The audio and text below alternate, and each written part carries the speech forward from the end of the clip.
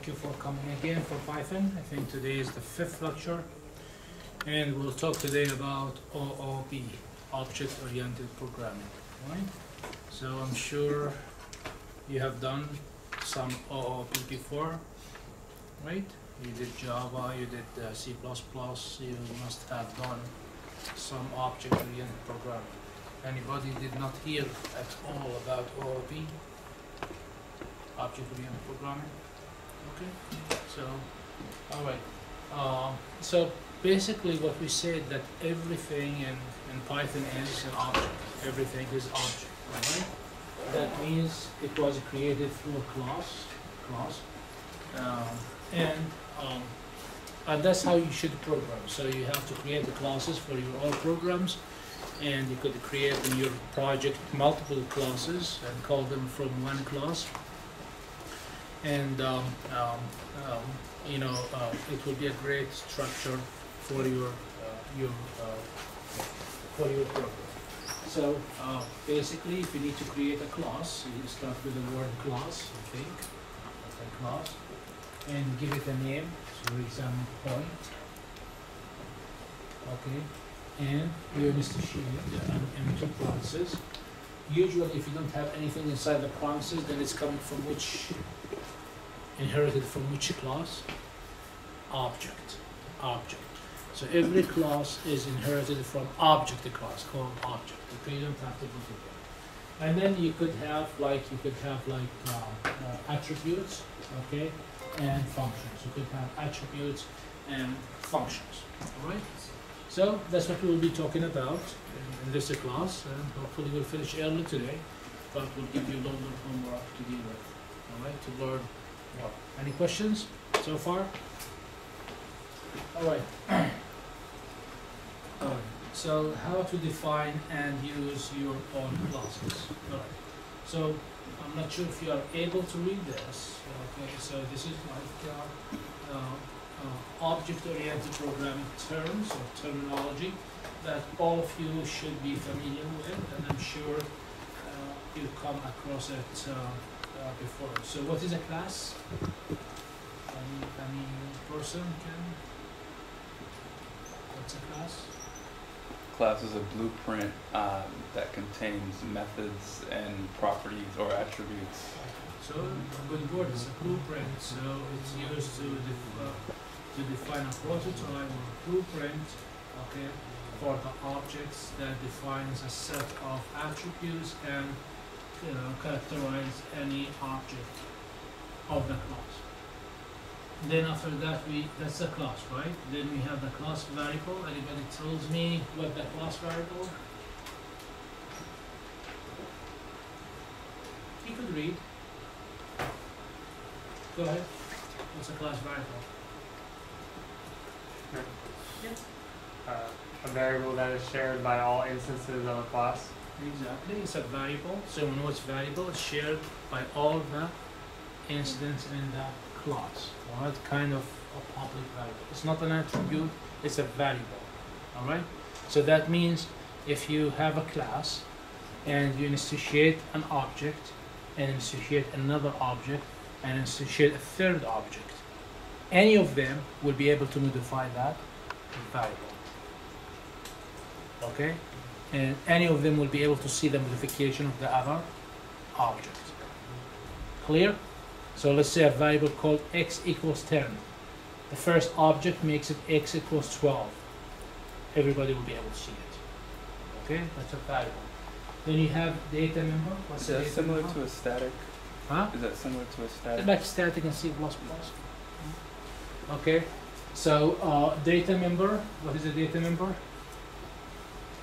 Class variable or instance variable that holds data associated with the class and its object.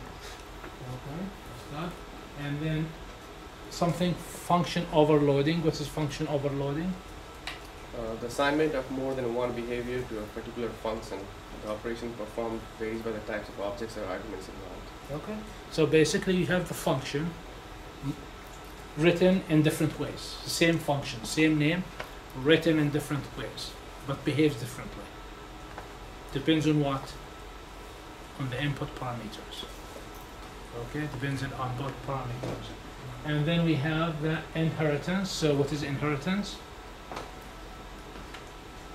And James, can you take prop, uh, similar properties from a parent class to subclass or child classes? Exactly. So exactly like myself, I'm a class inherited some properties from my my parents. Okay, could be one parent, two parents in here, and the same thing with the classes. Okay, we could have inheritance. I will see examples right now. All right. Then you have an instantiation. An Instantiation. What instantiation? creation of the instance of the class. Which means don't. So you have the class like a blueprint, a blueprint, right? Okay, think about a blueprint for, for a house, all right? Is the blueprint a house? Is it a real house? Can you live inside that blueprint? No. So what you could, build multiple houses from that blueprint. So class is a theory, is a blue, blueprint. But you could build, that means when you have a class, does it, does it have storage in the memory? okay does not but when you instantiate an object then you are creating the the house out of the blueprint right? Blueprint right? And then we have the method. What is method? First there method. Yep. a special kind of function that is defined in class definition. okay you read it. Tell me now face to face what is it? It's a function right? It's a function but it's inside the class. So how you call it with the dot operator okay? So a, a method a function defined inside a class we call it a method we call it a method all right and then the object what is the object any anybody any object what's the object Um, um, it is part of the class where um, it's unique uh, instance. It's unique instance. Thank you so much. That's, that's, that's the object. And then the last thing we have operator overloading. What's operator? Person the the end there. uh, pu- yeah. Sorry, I was just. What? Can't hear you. I'm sorry, I didn't pay attention. Okay, you didn't have to pay attention. That's a question. Okay, because you did not explain anything. So the question is operator overloading. What is this? It's something more than one function to a particular object. Okay, now you're ready. Tell me in your own words. And maybe I gave example last time. So for example, like you redefine the purpose of an operator, in, uh, so for example, you have the plus, the minus, the multiplication, less than, greater than. All right. These work with what? Work with numbers, right? Okay, lu- numbers, right? Okay, mostly numbers, right? So you could, for example, say a box bigger than a box. Is a box bigger than a box? So you, you could define, you could add a box to a box. You could add something to, so you could define. We'll see example for it. So that's basically what we're gonna cover today. Okay? Object-oriented programming is complex thing, but in, in, in Python it's kind of uh, kind of easier than other programming languages. Okay. So this is the diagram of a product class. So you have a product product class and has like attributes. How many attributes we have in this product? Three. Three, which is the name, price, and discount percent. So there is a name for any product. There is a base price, base price for the product, and there is a discount, ten percent, twenty percent, thirty percent.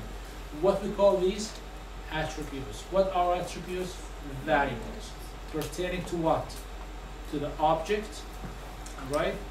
Object created or instantiated in the block, right? And then we have methods. So each class will have methods and attributes. How many methods we have? There is one which is always mandatory, which is the constructor. The constructor. So the constructor job is to initiate the attributes values. Okay, or tell us how it will be initiated. Alright? And we could have, have another methods, okay, methods which are functions within the class. So for example, get the the discount amount and give the discount price. get the discount amount and the discount price. So we have three function, or three methods, I'm sorry, and we have three attributes. All right. So, um, so what is the relationship between a class and object? A class is a blueprint, blueprint, like our friend mentioned in here, or it's a prototype, right? So when you set up like a class in here, I write a class? A class, for example, point in here. When I when I when when when I execute this program, so let's say in the point I have, for example, x, uh, okay, um, um, self dot x equals x, for example, and self dot y equals y, and this is x and y, for example. So when I declare a class, do I create any memory? Do I occupy any memory? No. No. The only time I start like cre- taking from the memory, creating the attributes in the memory, reserving memory spaces for the attributes when I create an object. Okay, when I create object. Okay? Alright? You have a house blueprint. Alright? Can um, can anybody live in the house blueprint? Can I spend cement and concrete and wood to build the blueprint? No. It happens when I create the object out of the blueprint. So there's a class and there is an object. One class you could create million objects out of it. One blueprint you could create million houses out of it. Right? Right? So that's the difference between objects. So in here, when you look in here, you have a product. What is a product? It's it, it's a it- it's a class that has three attributes. What are the attributes? Name, price, discount, percent. All right. I did not do anything. Once I create an object, I could, for example, have product one. Okay. Now in the memory, I have reserved a place in the memory. Name, and I give it this value. And I reserve the place in the memory, and I give it this value. I reserve the th- a place for the third third um, attribute, and I give it a value, right? So we have product one, product two, product four, product three, product one thousand, product one million. I could create a million objects out of this class. Okay, so class, it has to be a blueprint and objects is the instantiation of that of that class okay? So um, one format usually the UML uh, Unified Modeling Language uh, which is the kind of industry. I'm not sure if it's still used nowadays a lot but it's the way you describe. Remember when you write a project when you write a project um, a huge project to serve a purpose usually your project built of so many classes and each class built of so many attributes and methods, right? So you need to, to have like a map for your program. So UML is a very good way to, to have the map for your own uh, uh, program, all right? All right, so let's take a look at this, uh, this uh, uh, uh, program. Okay, so class, so the product class. Okay, so class, we use the word class to create a class and we give it a name. And in Python, we prefer to start it with a capital letter. For example, product in here. All right, you could put two parentheses after that, and you put inside object, and you could not. It's your choice. And there is a method. Always we have to have it in any class, which is the constructor. The constructor starts with def. What is def? To define a function. The function inside a class, we call it method, right? And we have underscore, underscore, init, okay, underscore, underscore. That's how you have to write it. You cannot change the name. That's just, it's kind of like a blueprint. Okay. And any method defined, any method defined inside a, a, an- inside a class, it has to have at least one parameter. Parameter. What is the what's the parameter is? The first one has to be a what? Self. Self. So at least one parameter which self. Self is like you remember in Java what we call self? This, this, right? This. Here we call it self. okay? Self or this, all right? So always when you we define, remember this, when you remember when you define a, a method inside a class, you have to start with the first parameter, which is self. Then you could have after that zero or more parameters. So in the in this initially, and usually what you initialize in the constructor, the attributes. Okay. So how many attributes I have in this one? Three. So how many I have to initialize? Three. So the first one is name. Okay. We go in here. The first one is name. Then we have price. Then discount price. All right. So how many parameters we pass to this constructor? Four. The, the, the self and the three parameters. And then we said self.name equals name. Where is this name coming from? From here, right? And then self.price equals price and self.discount percent equals discount percent. So we have initialized how many attributes? Three attributes. Simple? Alright, so uh, very simple class that has three attributes. Alright, and we initialize that. By the way, in, in, in Java and C++, okay, you could uh, you could define you could define the define the, the attributes without a constructor. Here you have to use the constructor. So always use the constructor. All right. Then after that we have how many functions we have or how many methods we have. Two. The first method is get discount discount amount. And as I said, any method inside the class has to have one parameter, at least one parameter, which is self, which is self. All right. So return self price, self price multiplied by self that discount price divided by 100. This is will give you what? The discount amount. So the price divided by the discount the- the- multiplied by discount percent divided by 100. Okay, so if the price is ten dollars and the discounted price is ten dollars, how much would be the price? Ten times ten divided by hundred, how much? One. That's a ten percent, right? Right? That's how it is, right? Okay. And then the second method is get discount price. Get discount price. Okay. So what is discount price? Is the price after you remove or you take away the discount. Again, if I have a product ten dollars and this ten percent discount, so how much is the discount uh, price? One. How much is the one dollar? How much is the? Uh, uh, uh, I'm sorry, the discount amount is one dollar. What is the discount price? Nine. Now a ten minus one, which is equals nine. Simple function, just to show you how to do things in here. So a script that creates and uses product mm. object. So, you know, so what is this? What is this? A class. Where you save it? In a file. Okay? And what's the name of the file? Anything dot py, right? Just as that, it just happened that that we named it object. We named it as you see in here, we named it object that dot py, right? All right. So one healthy way of doing stuff in Python or any programming language, just save the class in a file.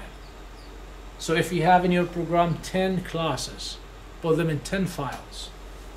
10 files, and each file has something dot py. And call everything from where? From the main class. From the main class.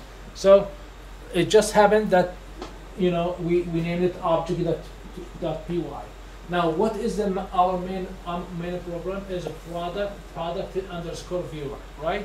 So to be able to see this class in the other file, what I have to do?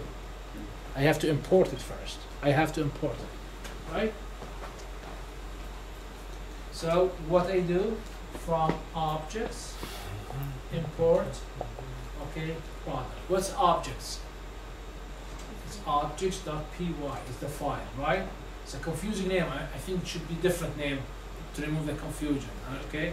So from objects, import that class. The name of the class is product. Okay. And then you have your program here. So what your program does? Now, in the class is a blueprint. Now I need to have an object. So very simple. How I create the object? I have to give it a name. So I created two products. Product one, as you see it there, product one, and product one and product two. How I do it? Product. What's product with capital P is the name of the class. And then in the constructor, how many parameters I pass there? Three. So the first one will be the name. The second will be price. A discount, a discount amount. The third one will be the price, or I, I don't know. No, it's the price and the discount amount, right? I created another product, which is product two. Okay, and I initiated. So now, when I called the line product one, what I did, what the program did, went to the memory, created the three places, okay, or reserved a place for that object, and had reserved a place for the three attributes. When I started the product two, what I did, I went to the memory, I reserved a place for that object, and I put that amounts, the values, right?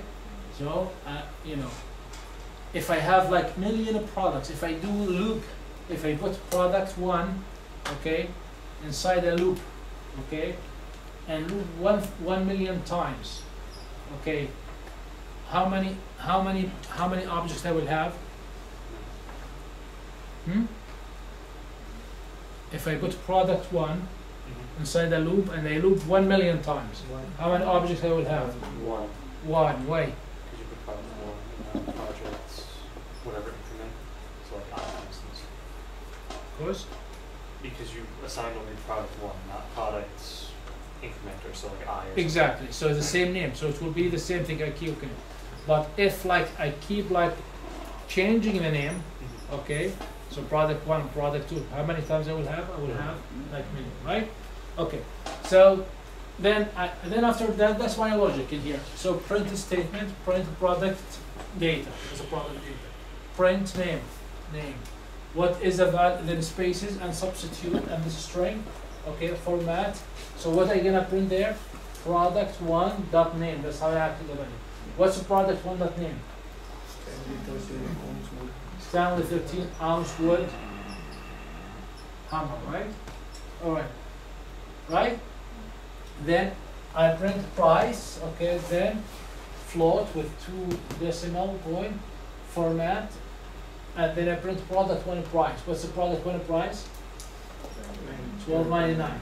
And then discount percent, whatever, sixty-two percent, and then discount amount, then I print discount amount. How can I calculate the dis- discount amount? I call a function, so product one, discount, uh, percent, and here, discount, discount amount, it will give me eight or five cents, and then I call get discount price, which gave me four point nine nine four. Alright? So what we are saying that to access attribute, you have to, first of all, if, if for example, for this class, I created like two attributes, if I need to access, if I need to create an object, so I could say, for example, um, you know, um, OBGY, for example, eight obj1, okay, equals, and then I have to call the point, okay, okay, x and y, two and three, for example. So I created an object, all right? If I need to, to assign different, different values to the x, all I have to say obj1 dot x equals five, for example. So now while this changed to, if I need to read the y, all I have to say print, okay, obj1 dot y, and this will be printed. Right? Okay.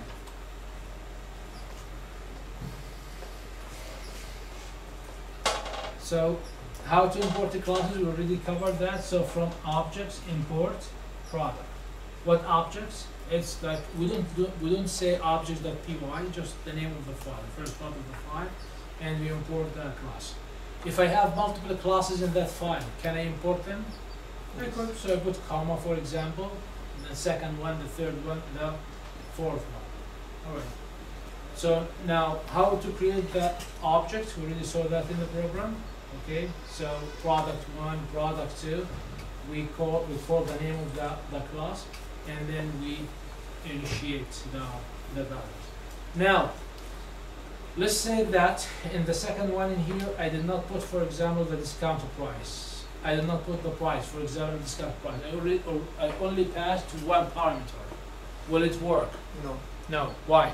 it will because the in class definition we uh, ask for three attributes in the initial construction constructor initialization and if we are passing one so it will be like that. So I have to have three three attributes, Yeah. okay? Unless I do default values, then it would go to the default values, right? So it will ask for three attributes, okay? All right. So how to access the attributes of an object? Very simple. So you have to the name of the object and then the attribute name. Dot the attribute name. Okay, this is what I'm doing in here. I'm assigning a value. I'm cha- changing the value. If I need to read a value, for example, percent, product one dot the discount percent, it will give me the forty. It will receive the forty. So basically, how can I access, uh, how can I access an attribute or assign a value to attribute? The name of the object dot, the name of the attribute. The name of the attribute. okay? Uh, how can I call a function? The same thing. Calling a function is, I put the first, the name of the, uh, the, um, the, the object, dot the name of the function. Just I have to be careful when I wrote this function, what parameters I pass to that function. So if there is five parameters, I have to pass five parameters, unless there is a default values, right? If there is no parameters, I cannot pass parameters, right? Remember also, also when we design the method inside the class, the first parameter has to be self. But when you call the method, you never put the self. Only you put it when you create the method. When you call it, you don't put the self. Alright? Okay, so in here, what I'm doing in here. So, sale price, what is this? A variable I'm creating, could be anything. Equal, okay, product one is one object of the product, dot. I'm calling a method which is get discount price, okay? So what will happen?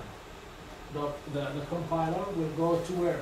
To the product one, okay? We'll run this method, it will get a result, and we'll save the result where? In the sale price. Right? That's answer.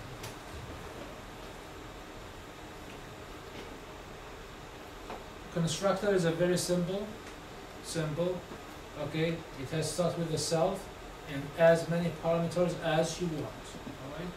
And usually you say self, the, the parameter, the attribute, and the first parameter.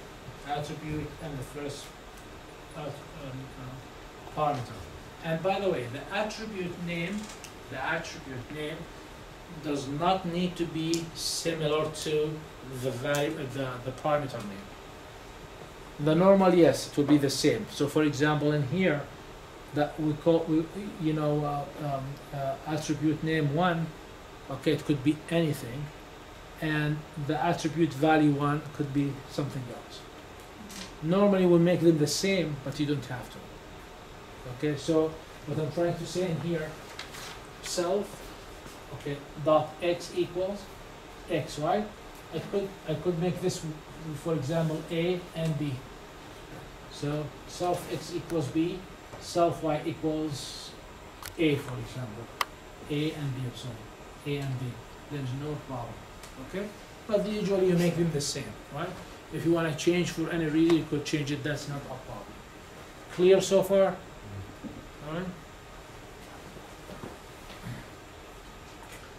So a constructor with no parameters. In here, this constructor, how many parameters it has? No parameters, right? So in here, then I have to initiate, it where inside, inside the, the function, so you have to initiate the, the right? Um, in here, uh, code that sets attributes of objects. So here, you have dot name, uh, product dot name, you're setting it to so- something, and price or something, something, and the, uh, discounted price, you're setting it to something else. Alright. In here, we have a constructor with three parameters, with three parameters. And again, the name was passed in here, the price passed in here, and the discount passed in here. Alright? What I, what I, I was trying to tell you, that I don't have to have a name in here, I could call it N. I could for price call P, for example. And for discount, I could call it D. So instead of name in here, what I have to put? N. For a price, what I could have? P. And I didn't have to have this, I could pass the D in here. Right, you could name it anything you want. In this case, whenever I create an object, I have to pass how many parameters? Three parameters, three parameters. In here, what I did, a constructor, but I put three parameters and I put default values. So the empty string, zero, zero. So now when I create, when I create the object, when I create the object, okay, if I don't pass the parameter, it will go to the default value. We go for the default value, alright?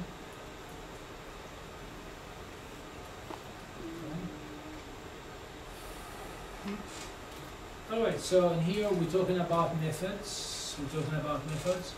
So how you create a method? Starts with the keyword def, right? And then you give it a name and then parameter. And the first parameter always has to be self. That's self. And you could have zero or more parameters, right? So in here, let's take a look at the method that returns a value here. Method of returns. So def get discount, get discount, okay. Can you see the mouse there? Yes.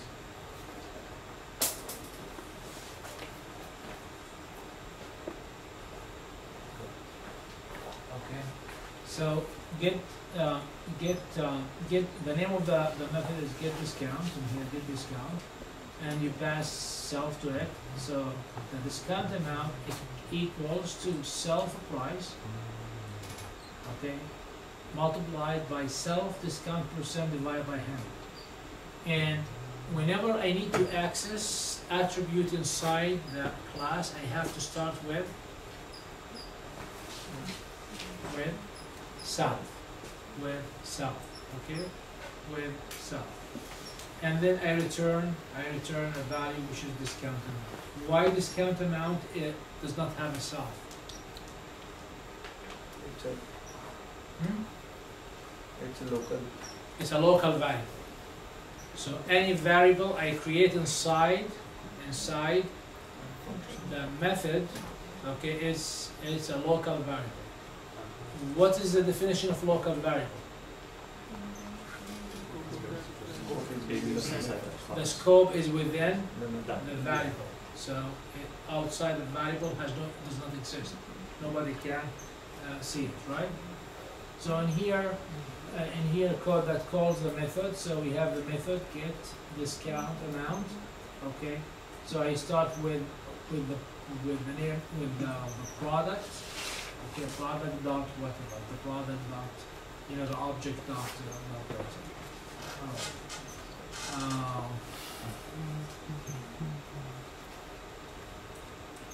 alright.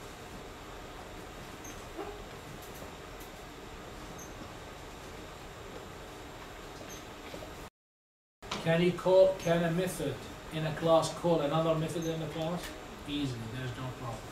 Okay, there is no, no problem. So for example, in here, I'm creating a method, okay, is to, to, uh, get discount price. So to, to know the discounted price, I have to know the discount, the discount amount, right? So price, and then here, I did not call attribute, what I call? A method. Alright? Will give you a value, it will be subtracted from the price, and that will give you, you return the value will be the discounted price, right? A method of the product class that accepts a parameter. So in here, for example, how many parameters I passed in here? One. What happened to the rest? We'll go to the default. Default. So if I don't specify them, then I go to the default. So if I don't, if you don't pass self, you're gonna get this error. So again, whenever you create a method inside of inside of the class, you have to start with one with with self parameter always. Whenever you need to reference attribute, you have to start with self. When you need to call another method inside the class, you have to start with self. Start with self. Otherwise, we'll give you.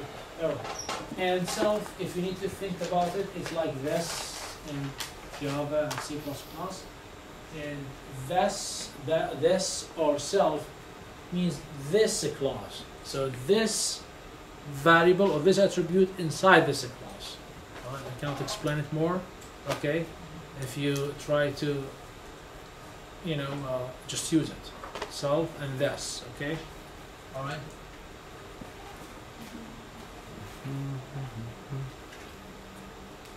Alright, so there is a program written for you, try it out, a console for the product viewer. So uh, um, you have the files for you to try them, try it. So the product viewer program, uh, it will it tell you, it will, it will print for you the three products you have, okay? And um, uh, enter the product one, so enter product one and it will give you the data of the product one. View another, or no, whatever, so. Anyway, quickly, let's go quickly over the code. I mean, it, it has a class, it has a class called product, which saved in one file. What's the name of the file? Objects py. Right? So that's a class. If your program has multiple classes, create each class in a different file. Okay? And then we have another file, okay, file which is a product viewer. So what is the first thing I have to do? I have to import that class, otherwise it will not be able to see it, right? So very simple, what I do here, from objects.py, I don't do, put the .py, okay, import product, what's product with capital P? It's a class name, alright? Let's say in that file I have five classes, I need them, so what I have to, product, comma, the second one, comma, you know. uh, Then in this program I have what? Functions. So the first fun- uh, methods, uh, the first uh, or functions. I'm sorry. So functions, okay. Uh, show products. There's a logic, and then show uh, product. Just show product and just show products. Okay. All right. Uh, so basically, in here, what what what what it did for i in range length of the products product, product one, uh, say that it seems like in, uh, in, in a list, okay, in a list, and then prints the data. And then the main file always, uh, the main, you know, the main file will have the main function where you put code. So look how, how, how it did it in the main, take a look at this part in here, okay? So what happened in here is to create a tuple. Tuple of what? Tuple of objects, tuple of objects. What are the ob- objects of what? For product class. Alright? So this tuple has how many how many elements? Three. Three. That means has how many um, how many objects? Three. Three. And each object is an, an instantiation of what? Of the product class. Right? So the first product is a hammer. The second one is nails. The third one is whatever economy bucket ticket, okay, that ticket, with a price and discount price, okay?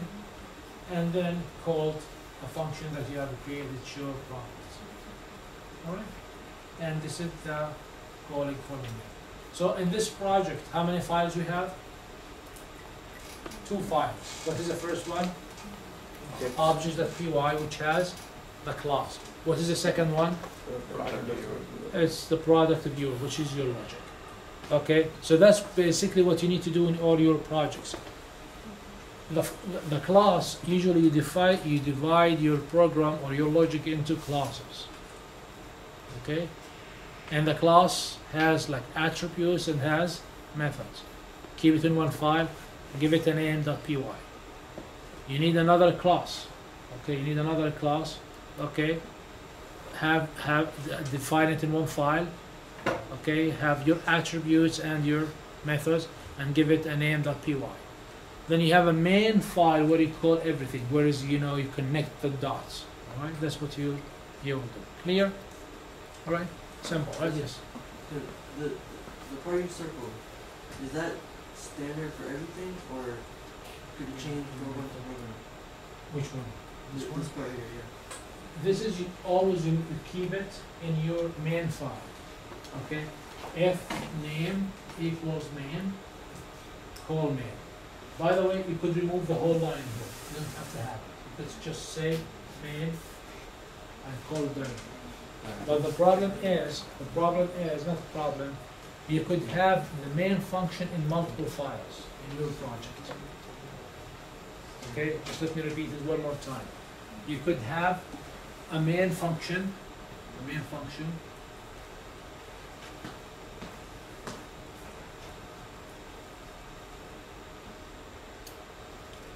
And you see the main function in here? Okay. Technically, any file, any file, any class, you could have a main function inside. Alright? So basically what this line is saying, when you execute this line in here, the answer to your question, yes, always keep it. Okay? Keep it, okay? That that that what says if you are calling the main from this file, then call the main inside this file. Alright? Let's say that let's say try it home and you go. You have two files here, right? Go home and, and put main function in both files. And run main from here, it will get confused, does not know which man it's gonna call. Gonna call the man in this file or the man in the other file. Alright? But when you do it this way, what you are telling the compiler, I'm now compiling, I'm executing this file, so call the main which you present where? This file. Okay, so if name, that means the name of the file passed to the compiler, okay, equals to, to the main in this file, then execute this main. Alright? Alright. Let, let me assume that you understood what I said. Alright? Great. And let me have another assumption you did not understand anything, okay, from what I said. So just stick with your question. Do I have to include this uh, line and, and, and, and yes? Okay? There is many things, you know, you understand in life, but you cannot explain explain, right? Right? There's many things. So I hope that I explained it, but uh, any confusion so far? All right? So again, quick quick respond to quick response one more time. That you know, usually in your project you have many files, and these files could have all of them could have technically main main function. So when you call main, wh- which man are you gonna call? This one or that one or that one. So having this line in here inside the circle tells you I called it from here, then call the man of this file. Simple? Simple? Okay. Alright. Alright, so the UML now, uh, so UML diagram for, okay, uh, for two classes that use composition. Alright, so now, what I'm trying to do in here, I'm creating a die. What is a die? Hmm, Die, okay, die. And when you flip it, will give you a number from one to six, right? Okay, so that's the value. And what you're gonna do with the, what, what, what function you do with a die? Roll. So that's a die. You know the physical die? That's how we make it in a program. It has a value and a function. Roll will give you a value. Save it somewhere, right? Right? And there is dice. What dice have? Multiple die. A die has multiple dice. Now, dice is not having multiple dice. Okay, this is confused, right? So, a dice has multiple die of this, right? So, and if you have multiple die, what is the best way to group them together? Put them in the list. So dice has a list of what? Of die. What is die? A class. Okay? And has add a die. So I could add more dies and I could what do roll them. So if I have five die, I could roll all. So the first one give me five, the second two give me two and three, then four and five, right? Okay? So now how many classes I have? In this figure, how many classes I have? Two classes, right? Okay, what is the first class? Die. It has how many functions? One. What is it? Roll. How many val, how many attributes? One, which is the value. Right? I wish I had a die. Anybody have a die in here? No? Alright? That's what is a die, right? Okay? And what is dice? Multiple die. Alright? So how many functions it have? Two. Add a die. Okay? I mean, I could have zero or one or two or three or four or five or hundred dice. Add a die. Okay? And roll all. I should add one more, which is remove a die. I have ten, I need to remove one, becomes nine, right? I could. And how many attributes it has? One. Any attribute has a type. What is the type of the attribute? Is a list. What is list? An object. Okay? Object of what? Of, of multiple die. Of multiple die. That's simple, right? Okay, that's simple, right? You know, I wish they just, you know, different names, you know, but what can we do? Alright? Alright. So that's what it is, okay? Import random, why I need a random file, uh, library? Because a die is supposedly random, like throw it like that, right? Give you six, four, one, right? That's have a random function, right? So I have to create how many classes?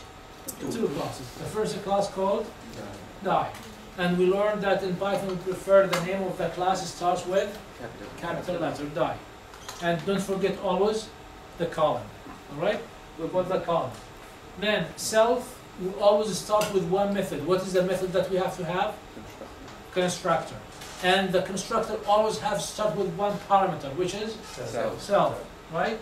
So what I did in here, self dot value equals one. So what's the default? If I don't roll it, one. One. It's one. So I'm done with the constructor and with the value. Then roll. What I do with roll, I have to generate a random number. This random number between 1 and 6. six. Why I put 7 in here? Because remember in the range that the first one is inclusive, the last one exclusive, right? So when I say 1 to 7, that means from 1 two six. Okay, one two six. If I remove one and seven and I put six, the range will be from where to where? One five. Thank you. You're studying, guys. Doing your homeworks. I'm proud of you. Okay. If I put seven, the range will be one zero to six. Have you seen die die with with with zero number? No. So that's how we fixed it from one to seven. So random, random, okay. And this will be saved where? In the self dot value. Remember any attribute inside the method, we have to always proceed it with self. We have to always proceed it with self. Okay? Cannot be any simpler. The first class is done. Okay? If I am orthodox, what I will do? I'll put it in a separate file and I name the file what? die.py for example. Okay? But I'm not that orthodox today. We'll, we'll, we'll put them in one file. Okay, the second class is what? Dice. And we have to start with constructor. We don't have to, because usually we start with constructor. Alright? And we have to dash one parameter, zero parameters actually, but we have to start with self. So list, what I did in here is an empty what? List. Alright? Then I have to create a, a method which is add a die. So what I have to pass to it? Die Die what? Yes. Die object. Die an object. Okay? So, how I add element to a list? Append, built-in function append. So, self.list.append, and what again append to it? The die that I pass to it. Simple. Then roll all. Roll all. So, for die in self list. Remember that list, what, what, what lists have? Iterators. Iterators. Okay? Like for has iterator, for x in a group. Remember? For element in list. That we call it built-in iterators. In C++ and Java, you have to write a lot of code to be all of that. The iterator, iterators are written for you in Python. Okay? Right? So for die, okay, very confusing. If I were, if I write the code, I say for x, for example. X, okay, any, any variable, okay? For x in self list, okay, what I'm doing here, go to that object and what I'm calling roll. Okay, so let's just take one more time. So what we said, and believe me, you have to listen to every single word I say in here. Alright, because it will save you a lot of time when you read it. So we said, we said, we said that every method I call within the class, it has to be preceded with self. Why? Not to confuse it if you are calling other classes. So in here, I did not proceed with self. Why? Because this method is not part, part of this class. Coming from where? From the other class. Alright? That means I could replace self with what? Dice. Dice. I could replace all the selfies in here with the name of the class. The name of the class. So just to make it easy, instead of, I mean, like when we talk, I am teaching, I am enjoy, enjoying teaching you, I'm enjoy talking to you, I, right? I could replace I with what? Shakur is teaching. Shakur is, you know, enjoying talking to you. Shakur is tired. He wants to go home early today. Whatever, right? So the same thing is happening in here. All right. Instead of okay, self means the name of the okay class. If um, I'm using a function, a method from other class, I have to proceed with the name. Okay. Very simple. Yes. But would that affect uh, this more cattle from the class five? No, because die in here is what? It's the object. Which object? Here. Object. Oh, oh okay. Yes, it's part of it. Alright? This goes in here. So this is in here, I could name it Y, for example. Okay, Y. But when I initiate it outside, how I call it? With the capital die. Y equal double the capital die. Okay, so the object, see in here. I think that's the die in the loop, right? Like for for die in self at least. Yes, in here. I mean, you're right, it's in here. Okay, the that's Okay. Die and selfless, okay, die. Yeah. But what is inside the, the list? A group of correct. A group of dice. Alright, a group of multiple die. Okay, group of multiple die. Alright, so it's a very I mean, very simple. I mean, once you, you know, you, you get the hang of it, it's a very simple. Alright, so this is an application, we run it before, I mean, like in here, enter the number, um, five. So your roll is one, two, okay, roll again, whatever. Okay, so. So this is the main function. So we created two main, main class. So what we call them like classes, we have two classes, the die class, we have the dice class, and we have the main class. So the main class needs two classes. So oh, simple, what we do, from dice import dice and die. So the first dice was supposed to be dice dot py, all right? I mean, myself, if I write the code, I'll write it wisely. I mean, just uh, to have, have completely different names, not to confuse confuse you, right? Mm. So it's the name of the file, all right? So let's say I name the first file Shakur. So it will be from Shakur import dice and die, right? Then it has the main function. Okay, so this is the main class, the main function. Here print whatever, and then in here get the number. So ask the user how many die you're gonna need. All right, and then after that, what they have to do, okay, dies, okay, dies in here. Okay, so in here I created what I have created in here. An object of dice. How many attributes it has? One, which is a uh, list of Die. So for i in range count, what is the count? The one the user entered. So what I'm doing in here, Creating individual die. The first die, the second die, the third die, the fourth die, the fifth die. And then what I'm doing in, in here, I'm adding the die to where? To the dice. Adding the die to the dice. I'm sure. I hope that will not die by the end of this lecture. so many dies. All right. All right. So it's a simple, right? I hope it's not confusing. And then after that, you know, what you do, now you added five dice for the die, mu- multiple die, five die to the dice. Now you have to ro- roll them all. So you create a while true, okay, dice, roll all, print your role and whatever, the logic, and anyways. And we have, have seen how it runs, we have seen how it runs, and it's like that, so. Just try it out when you go home a die class that uses methods to provide encapsulation. Okay, all right. So something is is is weird that we learned in in Java and C++. You know, when we create attributes, for example, there's three different classes, right? There's public, and there's private, and there's protected, right? It's not so strong in Python, but it's there. So what's the idea of making an attribute a private?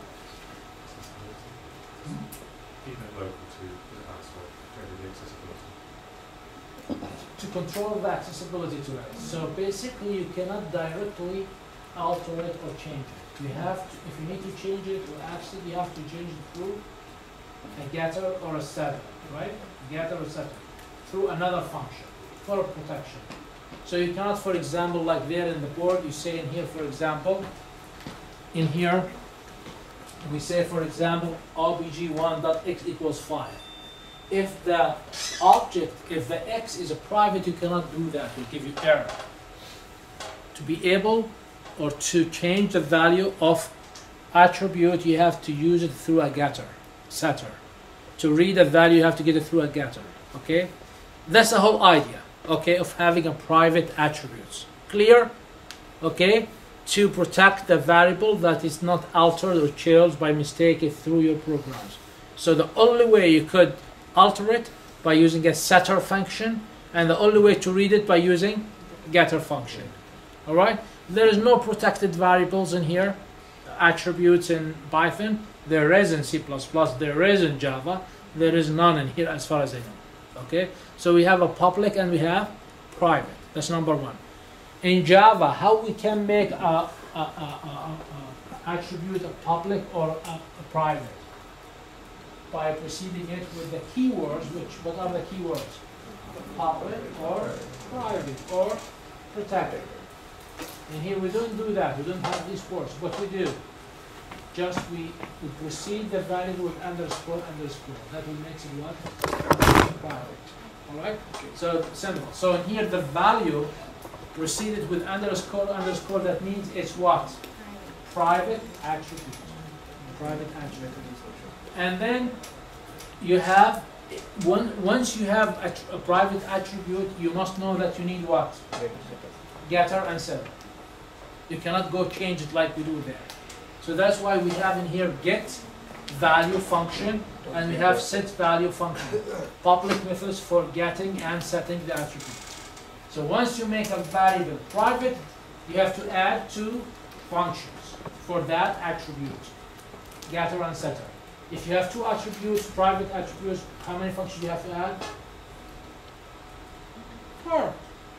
Getter and setter for each one. Mm. All right. If you have three private attributes, how many functions do you have to add? Six. I'm teaching you math now. Trying to wake you up. Right? Right? And so on and so forth. Right? Alright. And then the role, which is what? Another public method. Another public method. Clear? If you remember from your Java classes, you also had private and public unprotected methods, right? Hmm. We don't have that the attribute, either public or private. Okay, public is alive. Insecure program is alive. If it's a private, to be able to read it or set it, I have to have two functions, setter and getter. Simple, cannot be any simple. Alright? Alright, so, so the double underscore identifies the attributes that are private. Alright, so the I class that uses properties to provide source. So the first one in here is what? Private attribute. We're gonna go now to apply to where? To our program, right? Our program, we already wrote a program, die, dice, and the main, right? So in here, instead of value, instead of making it public, we make it what? Private. And a value, what is value in here?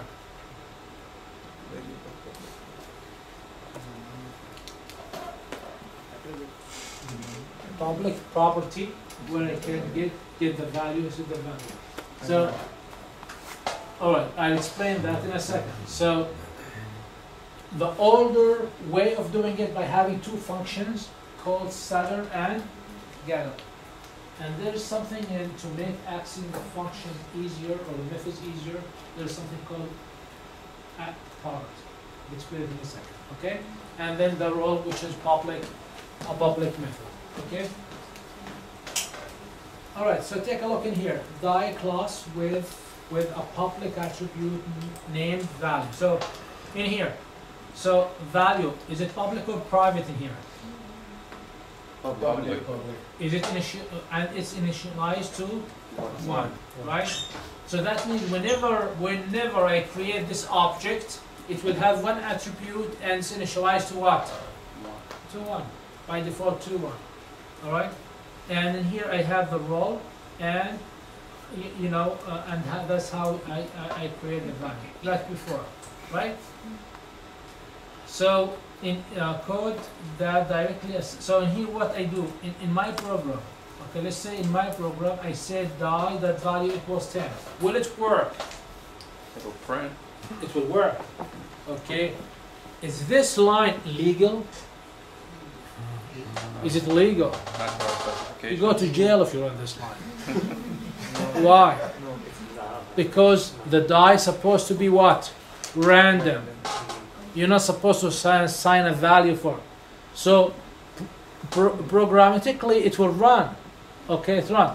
But because it's just a uh, it's like public and it's not secure. When you run this code, okay, die that value equals ten, it will work. But this is not the logic is false because the value has to be random. All right. Think about that. You're creating a lottery system. Okay and you know you are awarding millions of dollars, all right? And you're fooling people inside the court by doing this assignment in here to give it the to give the winning ticket to to somebody you know, right? You cannot do that, right? Okay, so that's not. So it will work, but it's illegal, right? So the best thing for the variables that needs not to be changed to make them what? Private. Make them private. You got the point? All right. So look in here. So the die class with a private attribute named value. So in here what you have? Okay, so you have value. Is value public or private here? Private. Private. How we know that? Double Underscore. Underscore, underscore, right? Then to be able to read it, the only way to be able to read the value, I have to create a function called get Get value, return self underscore value. Okay, it seems like silly. It seems like silly. Why I have to create a function just to read it? I could just read it right away. Okay, for extra protection. For extra protection, right? It's exactly, let me give you a silly example, a lot of silly examples, okay? Like for example, when you go deposit a big amount in the bank. I know you are not the, not there yet, you didn't have a big job, but you will eventually, you know? You'll go like with a half a million dollars, okay? All right, and they give it to the cashier, okay? So she will count it, but she has to call another person to count it, right? One person will not, because it's like a big amount. Actually, they do it over thousand dollars if they don't have the machine, right? The same thing is the kind of of a second line of protection, right? Now, to be able to, to, so this is to be able to get the value. I have to function, all right? All right. Why I don't set the value in here? Why I don't have function to set the value? I don't need it. I don't need it because it has to be assigned randomly. Okay? So now if I try to assign a value, to, can I assign a value? I can't. If I want to, I could add that function, but in this logic I cannot at all. I cannot change the value, right? So then roll. Okay, and this, how to assign the value in here? Random. Okay, it will be saved there. So when I say die, I'm creating a die. Then die underscore value, what will give you here? Big error. You cannot assign a value. Okay, but why? Because it's a private. The error message will give you this message. Code that indirectly sets and gets it. So I'm creating a die, die roll, then print die. Now through the roll, through the function, I could assign the value. You got the whole point? You got the point, what's the private and public and all of that? So in here, the die class with methods that access private attributes. So in here, so what we have, die, okay, so is it private or public? Private, why? Double R. Double, okay. Then I have the get value, we already we get the value. What I'm doing in here? Set value. Okay, so what I do, self and the value, I'm setting the value. If the value less than 1 or the value greater than 6, what are you going to do? Raise value in row because it should not be it should not be less or less than 1 or more than 6, right? Else, and this is the value. So in this in this in this um, class, I could get the value and I could set the value, but through what? Setters and getters. I cannot do it directly. All right. So and then I have the row row uh, value. So so again in here I'm creating the die, and then what I'm saying in here, set value to six. So what's the value will be? Six when I print the value, how can I read the, read the value? By the get function. The only way I can read it by what? The get function, by the get value. So get the value. Right? So let's let's summarize what I said. I need to give you a break for five minutes. All right. So private. What is a private? It's an attribute that the only way I could or change by functions. All right. And it's a very simple in Python. How can I make it a private? How can, I'm sorry. How can I make a private attribute a private?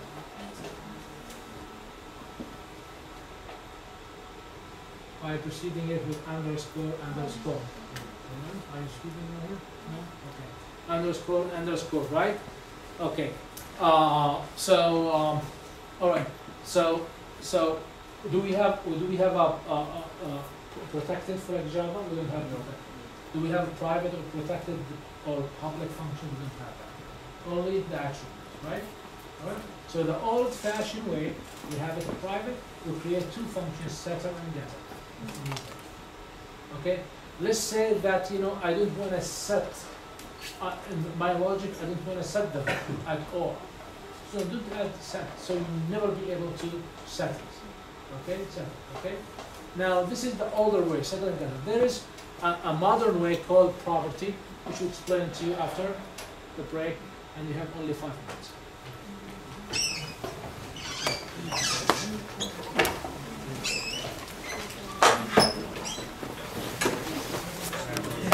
Okay, so let's continue.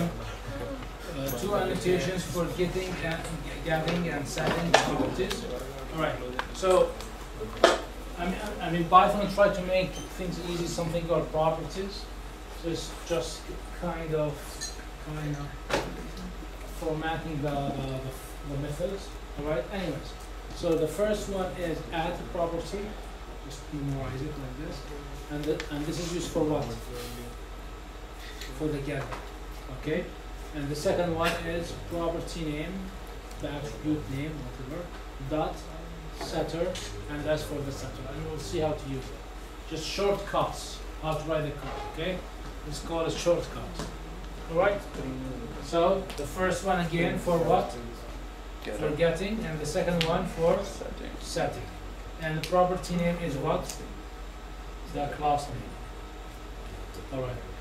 Uh, so for the die class, for example, in here, okay, so in here what we did, we created a, a, a attribute which is private, okay, and instead of giving like a name different, different than, name than the attribute, if I would like to use the value, so all I have to put the add property in one line, and I define a function, and the function will have the same name as attribute value.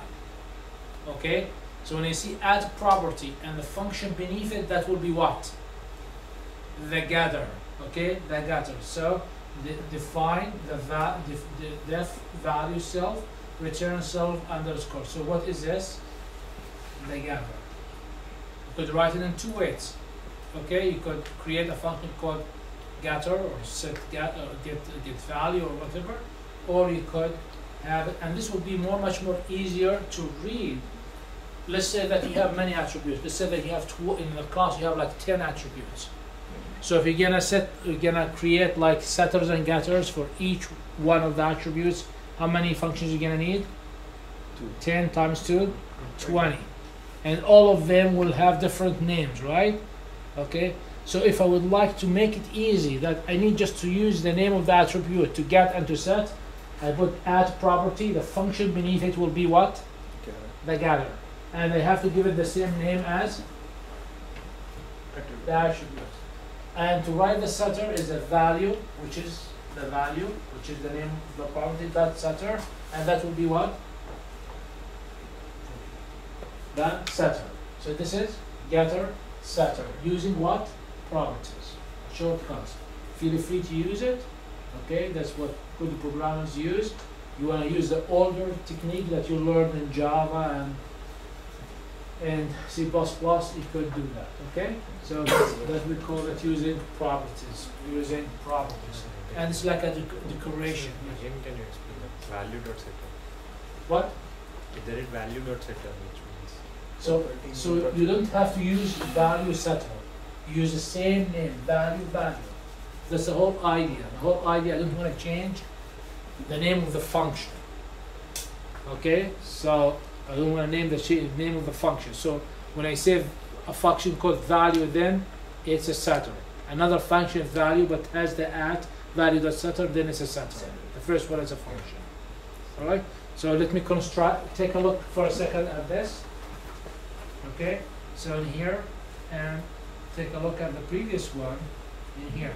So for that, what I have to do, create a function, get value. Okay, set value.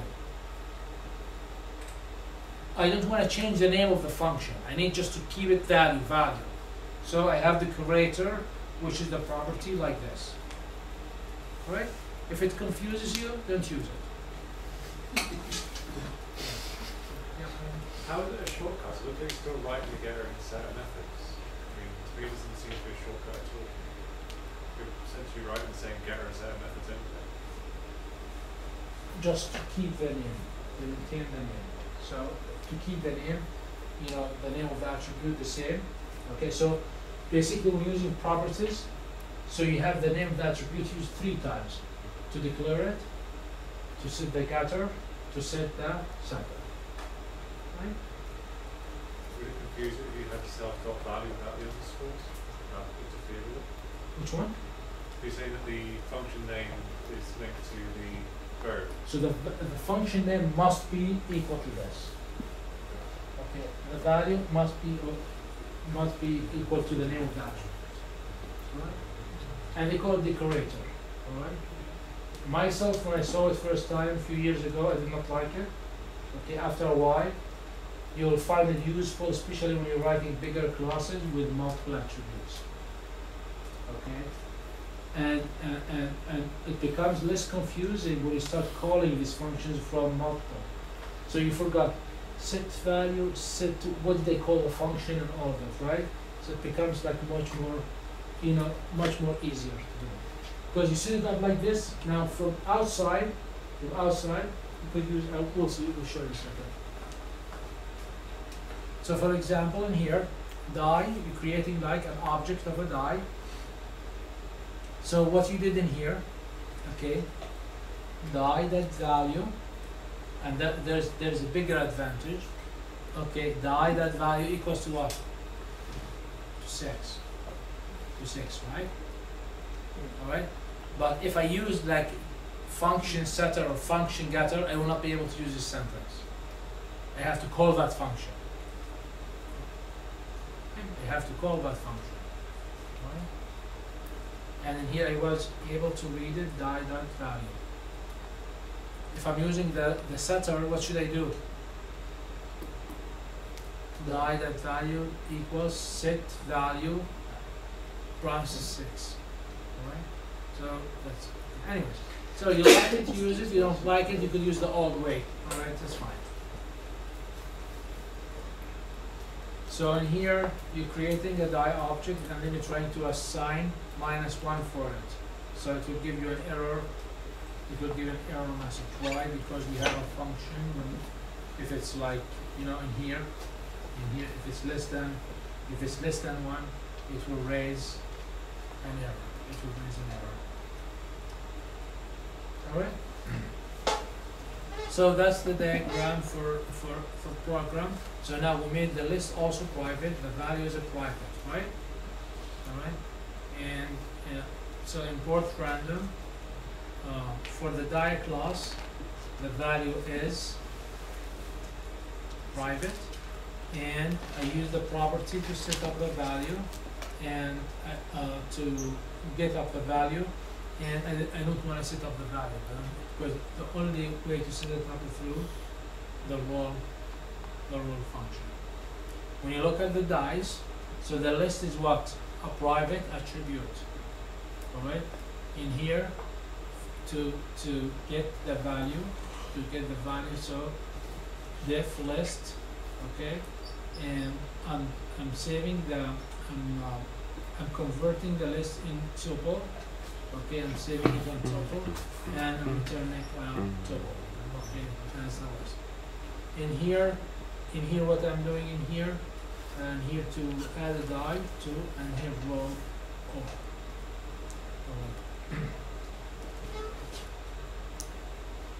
Same thing with the previous pro program for the price. In here what I made what I made it private. Price. Price only. Okay, the name and the discounted price is a public attribute. Why he did it like this? It's your call. That's your program needs. So if there is like attribute that I need to protect, make sure to go through a, a rigid procedure to change to certain get, I have to go there. And here the price is a public property, you could use public property. So once they have, once they have, once I have to, once I have the attribute as private, I have to have setters and functions or property. Two ways to do it, right? And he could design the program for it. They have to skip that one from up top. Okay? Take a look at Okay. Now, how to work with inheritance? Inheritance. What is inheritance? That you could have a function, uh, you could have a class inherited from another class. Anyways, any class you create on your own is inherited from where? Object. So the main, the first class is object. So list is inherited from where? Object. String from object. Tuple from object. Our point class from object. Okay, by default from object. Alright? So in here, for example, let's say that they have a product, they have a product. So product has how many attributes in here? Three, name, price, discount price. And how many functions, how many methods? Three methods, right? All right, so some, some of the, some of the products have special, special thing with them. So for example, book, I created a class, a book, and the book is inherited from product. That means every book is a product, but not every product is a book. All right. So what I did, what are the attributes for the book? Name, price. I have four attributes. So name, price, discount price. I added one is the author. Okay. So the book, how many functions it has? Four. Three from the parent and all right. Let's take a look at the movies. So every movie is a product, but not every product is a movie. And how many attributes it has? Four. I added the year. And how many functions they have? Four. Four. All right. So that's the idea of the inheritance. So basically, the movie and the book inherit everything from but not vice versa. But not vice versa. Right? Okay. So let's see how we write the classes in here. so first of all, how can I do the inheritance? How I create the class? Okay, so let's go directly here. So class product, that's the product. We already created the product before, right? So what's the product? You start with what first? Constructor. Constructor. Start with the constructor. All right. So class, pro- product, def. Uh, okay. Okay. So you have the name, the price, and the discount value. The discount percent, which is zero, price, zero, zero, and self. Right. So name, price, discount price, and discount. Right. Oh, okay. All right. Then we have in here what we have in here. Three methods, as we saw before. Anything new in here? Nothing new. All right. Then we could go down in here. Now we have to create a book. So the book inherited from where? Product. So between the parentheses, what I put? Super. Product. Parent. So the parent is product. All right. And then the f- I have to initiate the attributes. How many? The book. How many attributes has? Four. So three, I'll use the constructor of the product. So what I did in here, def, init, self, name, price, discount price, and author. Okay. Right. And then the first thing in that method, what I did, I called the constructor for product. So the constructor for product initiated for me what? Name, price, and discount percent. And they have to add the author, so self-author equals author. Alright? So I have called, so the constructor of the book called the constructor of the parent. That initiated for me how many? Three attributes, and the one remaining I do it myself in the program, right? Do I have to do that? I don't. I could like rewrite, uh, initiate a different way. That's fine. But since it's a product, you know, it makes sense to call the constructor for a product, right? Self, author, and you know, the self author equals to the author. All right. Now, what you notice? Let's go back in here. So, what do you notice in here? That we have get description. What is this? A method. Overriding get description. So it's the same name, the same thing, but it's overriding it. Overriding it. It's the same. It's not a different. It could have different function, no problem. But this one is overriding. Okay? It's not overloading, overriding. So overriding, you have two functions behaving differently. alright? So overriding, overriding that get description method, so get description, self, return, okay, product, get description. So what I did in the get description, I first called the get description from the parent, and then I added to it by self author. Alright? I don't have to call the parent, it could be completely different, but it makes sense now to call in this application to call the parent what? Method. And then I add modify it to it. Because usually if it's a product, you need to print the three elements, the three attributes. But if it's a book, I need to add to it what? The author. The author. It's a movie, maybe I need to add to it what? The year it was produced. Alright? Very simple. So very simple. Right? So again, inheritance. What is inheritance? You have a parent class that has attributes and has Method. methods. And you have children, children, or ch- child class that have, it could have a new attributes and a new methods and overridden methods. Overridden methods. Alright?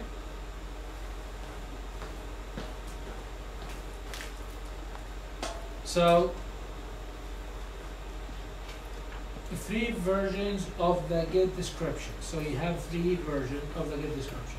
So you look the first one, it it's it's uh, it's in the super class, in the parent class, get description as you see in here, returns the name only. In the book, what does it return? It's gonna call this function first, and then by, it returns the name by the author. In here, in the movie, what does it do? It will call the parent, and then it will return the year.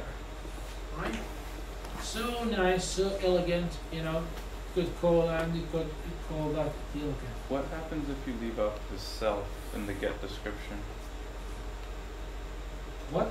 Uh, so in product dot get description self, Yes, what happens if you leave out the self? You have to, you have to put the self. This is, this is defined where? Inside, these all the three defined where? Inside the class. So remember in the class, for any method, you have to start with self. Self. In here, we are not calling the functions. Here, we are defining the functions.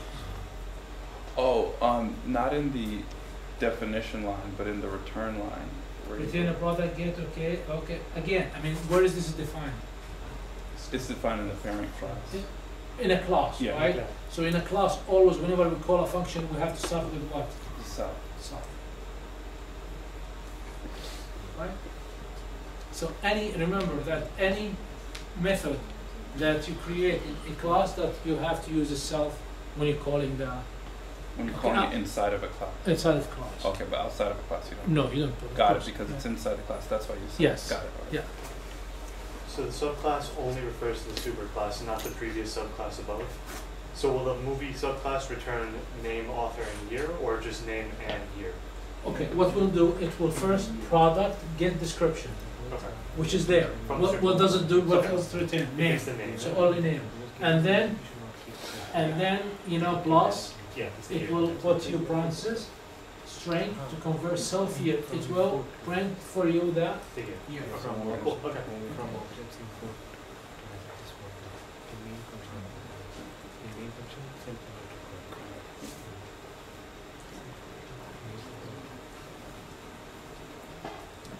All right. Cause that's Uh, code that uses the overridden, okay, so in here, okay, in here it it will, okay, in here from objects import what? Product book movie, right? So in here show products like we saw before, and in here we create the product, another product, another product, okay? And when we printed it, look how to print it. The first one, it printed the product without anything. The second one, it, because it's a book printed by the author, and the third one, it put between the two parentheses the year. Alright? Whenever, you know, I print the description, it will call the right, uh, the right uh, one. So when you have multiple classes and multiple objects, sometimes you get confused. This object belongs to what class, right? So for that we have isinstance. Is instance is a function. You you check the object. Is it if it's part of that class, right? So sometimes you know you need to to do that. So for example, in here, it in here for example, if instance product, okay, is it part of the book? The answer will be true or false, and according to that, you do whatever you want. Alright? So, depends on your logic, you always could check the instance of the, the code.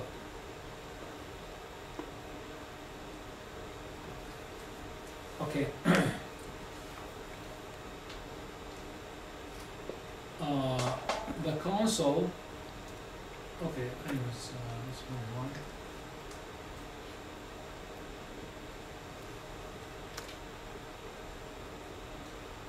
So in here, for example, you have a product, a class product, okay?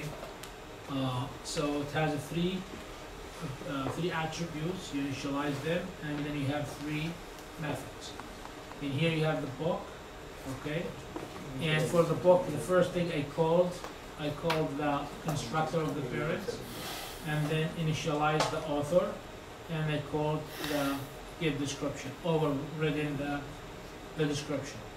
For the movie class in here, as you see, we called again the parent constructor, and then I initialize the year, which is a fourth attribute that they have added. And then what I did, I called, uh, I overridden, uh, overrode the, the, I have overridden the get description method. Me put take that. Alright. So, that's your question in here when you ask the product uh, viewer, you know, you know, uh, in here, the if man, main class. So that's, that's in the main class, we have to include this all the time that calls that. There is so many functions, okay, when you see a functions or methods, functions, like actual methods, which, which starts with underscore, underscore, and ends with underscore, underscore, what do you know about them?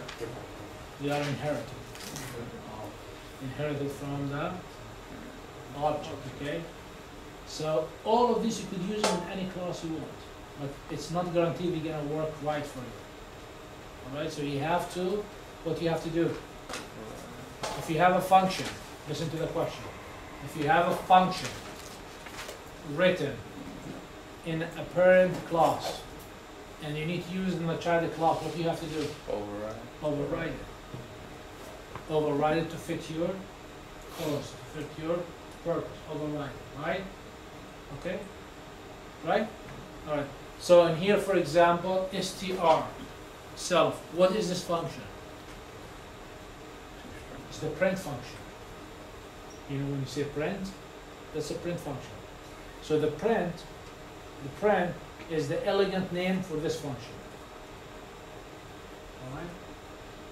So if I need, when I say, when I say, for example, when I say print this object, by default, what does it print?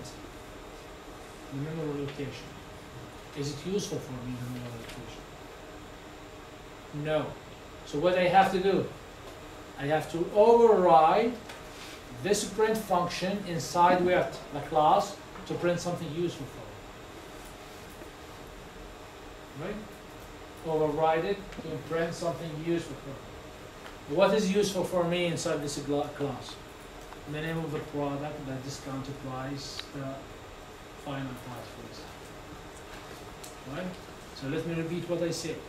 There is so many functions. You'll see them that ends them starts with underscore underscore. That means these functions are inherited from parent class. Alright. To be able to use them nicely in my class, I have to override them. We call it overriding what? The function, the method. Alright? One example in here is underscore underscore str, which is the print function. In my example in here, in the die example or the product example, will I say print this object. By default, will print what? The memory location. No you. If I needed to print useful, let's say if I needed to print the name of the product, I have to do what? Override. I have to do override. Overriding, what does it mean? Just try the function again to do whatever you want. All right? So let's let's check it out. Maybe there's examples. Okay, so the syntax for overriding in here, look in here, for example, in here def, okay, return, okay, string, uh, return string uh, for the object. So, so in here to override it, for example, in here inside the function, return self name, space bar, then price, space bar, and then this discount resource. Alright? So when I did that, now this is what does it do? Override the print function. Override the print function. Let's try it. I create a product. The product has how many attributes? Three. Name, price, and discount. Print product, print product, what, what did it print for me now? See it? What did it print for me? Why? Because I override it. If I don't try this function, what gonna print for me? This trash. Objects, product, object, the memory location. Alright? So basically, what we learned from this, for any class you create, you could modify the print function to print user information for you. It. Alright?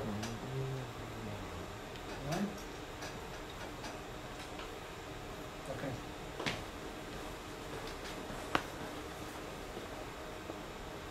So also iterators and next. What is iterator?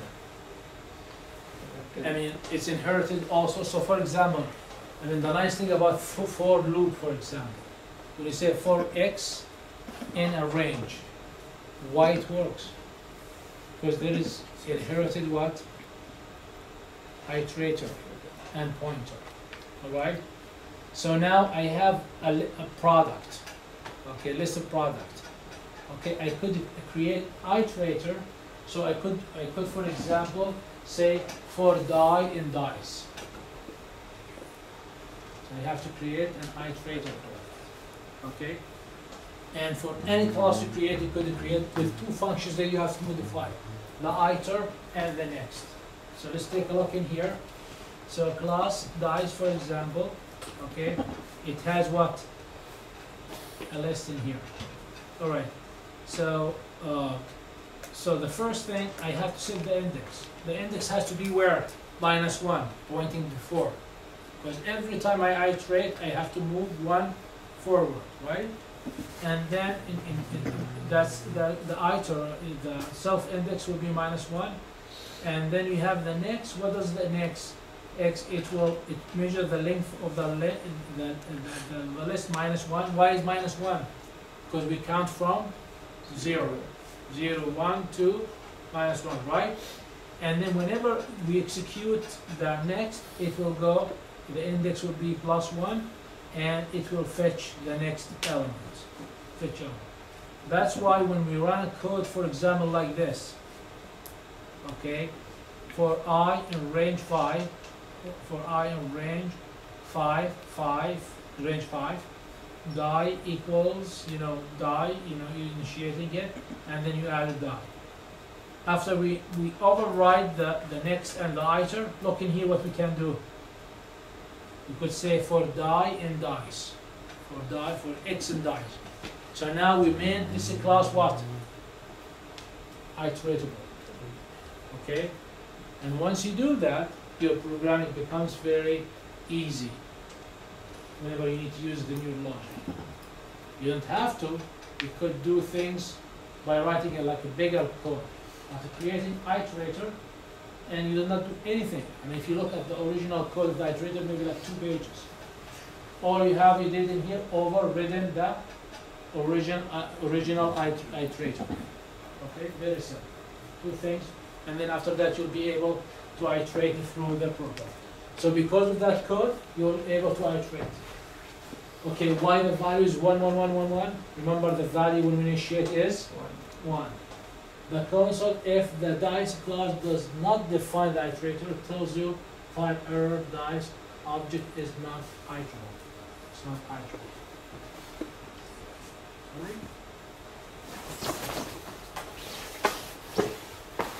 So,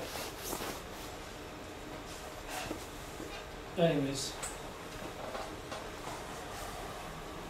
Also, you could create your own, um, uh, okay, now let's go back to the, uh, the, the, the, the, the exception. So this exception, okay, all classes, right? Initiated from where? From the exception class, right? So for example, in here you have six, for example, six common exceptions. You could create a class of exception. It could be inherited from one of these, right? So, I mean, yes, there is an exception, remember in the chart last time I showed you? But you could create your own exceptions. That's why you are able to raise exceptions. How you create exception object? By creating a class.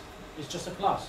So everything is objects in here. Even exceptions is an object, right? You could create it yourself. So, so for example, in here, class, custom error name, and exception name. This is inherited from where?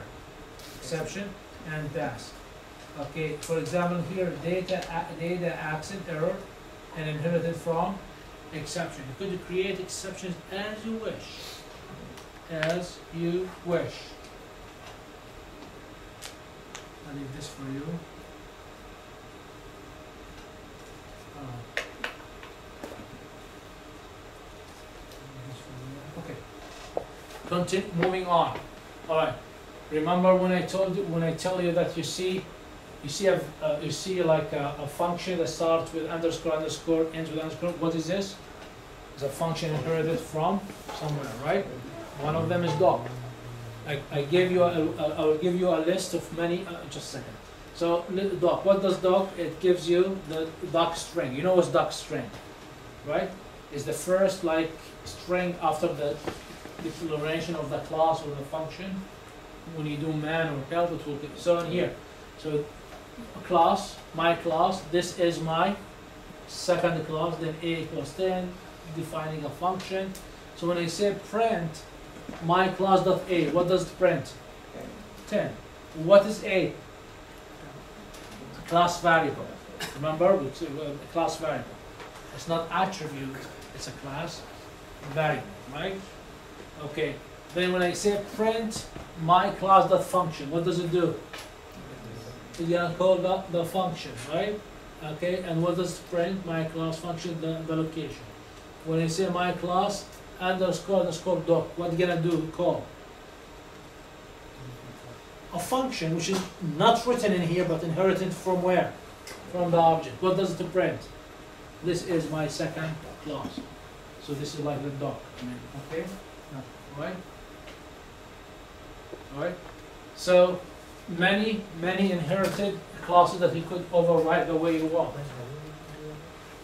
Alright, so class special called cla- class special functions. Class functions that begins with double underscore, double underscore, called special functions as they have special meaning. So this is a very nice let me introduce to you a very special, special function. What is this? Constructor. Constructor, right? Function that called constructor. This link, there is a long list of special functions. Take a look at them. Right? All right, let's talk about multiple inheritors. So in here, what, what happens in here? We have a- class that inherits from two classes. Inherits from two classes. So this is a class, okay? So let's say this class has a dad and a mom. Okay, so it could inherit from a dad and a mom. and a brother and a sister as much as you want. Okay? Alright? So so in here as you see class base one, class base one, okay, and then class base two. This is independent classes. Then I created multi-derived, so the multi-derived class is inheriting from two classes, base one and base two. And it's, it's very important to know the order of the inheritance. So search order, I mean, I mean there's something called search order, MRO, uh, method of resolution order. Okay, it, it will depend in how you, I, I mean, for example, if you do class base two above the class base one, it will work differently. Okay, it will work differently. Okay, so search order is order for this starts from where? From the multi-derived, then goes to class two because that's what was next, and then goes to base two, and then goes to base one, and then goes to the object. This order is also called uh, uh, linearization of the multi-derived class, and the set of rules used to find this order is called method resolution order. All right, so it's a very important in the order we do the inheritance. So what is this? So this is we call it we call it multiple inheritance and multiple inheritance. right? It makes sense. I mean, like in, in, even in human life, right? I mean, like you inherit from your dad, mom, multiple places. But in here, what you have in here, multi-level, multi-level. So derived two inherits from derived one, and this inherits from the base, right? Right? So let's say that the base has two attributes. And let's say derived one has three attributes. And let's say derived two has one attribute. So when I, I create object in here, how many attributes I have? Two plus three plus one. If I create objects in here, how many attributes I have? Two plus three. If I create one object there in the base, how many attributes I have? Two. Alright? And it could have multi-level inheritance. Alright?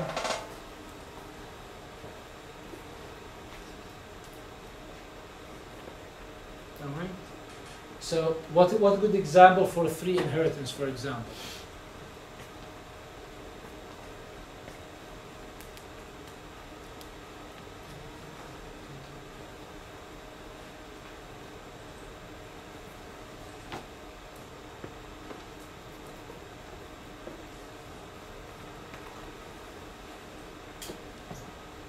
Great grandchild? Hmm? Great grandchild? I mean application. Oh, Let's talk about the product, for example. Is it like name, value, this kind of? No. I mean, student, uh, department, and uh, subject. so you have like a car, and then you have like a Volvo, and then you have like a truck, and then you have like a pickup truck. Yeah, but th- these are not subcategories. Right? It has to be subcategory. So for example, let's say the base is a product. Okay? Let's say the derived one is a book. Alright? And let's say derived three is a movie. So the movie out of the book. Movie made of the book. Movie is a product. Made of a book which is another product. And the book is a product. But for example, in your example in, uh, in, in the auto cars, for example, so for example, we could make the brand Toyota, for example, okay, Toyota, and uh, what is top of the Toyota, for example, is um, uh, so we have Toyota, what what we call uh, Camry, Corolla, and all of that. What do you call those? Car, automatic car. Model. Types. What I mean, what do you call it? Vehicle. Model. models, models, okay, you know, okay, you have to do your registration to remember all of these. So you have the, the, the manufacturer, then you have the model, all right, and inside that what you have EX, SX, LX, whatever, right? So the LX, so LX could be, could be Corolla LX, Camry LX, Camry SX, whatever, and all of this belongs to Toyota, for example. So it's like a bigger umbrella and then you have smaller umbrella and a smaller umbrella. umbrella. And and designing that, you had example, right? Uh, not not No? Okay. All right. So, all right.